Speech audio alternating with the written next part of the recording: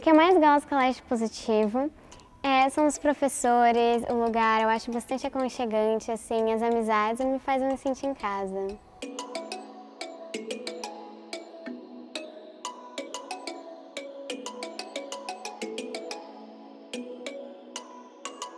Bom, o que me chamou a atenção na proposta do Colégio Positivo sempre foi um colégio que eu sempre pensei que prepara o aluno depois para conseguir participar e ser aprovado no Enem e conseguir ingressar depois na, numa universidade. Eu gosto bastante do ensino também dos professores e das amizades. Eu acho que é uma escola muito legal e me faz me sentir bem em casa, assim.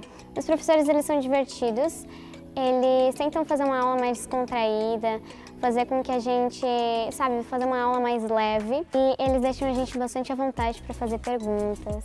Que me fez escolher a escola, além da, da estrutura que eu gostei muito, me conquistou quando eu cheguei aqui, né? Me senti à vontade, gostei das salas de aula, gostei do atendimento, é, uma boa conversa com a coordenadora. As crianças também foram muito bem recebidas, se sentiram em casa, se sentiram acolhidas. Então isso me fez optar. O diferencial é o acolhimento que eu consegui aqui além do sistema de ensino que eu já conheço, dos professores que são o diferencial da escola, a estrutura, o acolhimento, o atendimento pessoal que eu recebi aqui, né, com a conversa com a coordenadora, é, na visita durante que foi feita no, no primeiro dia, eu me senti em casa.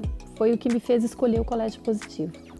Eu gosto também de algumas aulas que são um pouco diferentes, que são as aulas de formação humana e empreendedorismo que a gente tem, que eu acho que são muito legais porque não são só os ensinos normais de todo mundo. O que eu mais gosto como mãe é saber que os meus filhos estão num lugar que eles se sentem bem, né, que eles estão acolhidos, que eles podem contar com ajuda, com uma orientação, com a coordenadora, com os professores que são bem treinados, um material todo feito para que eles desenvolvam o intelecto da melhor maneira possível.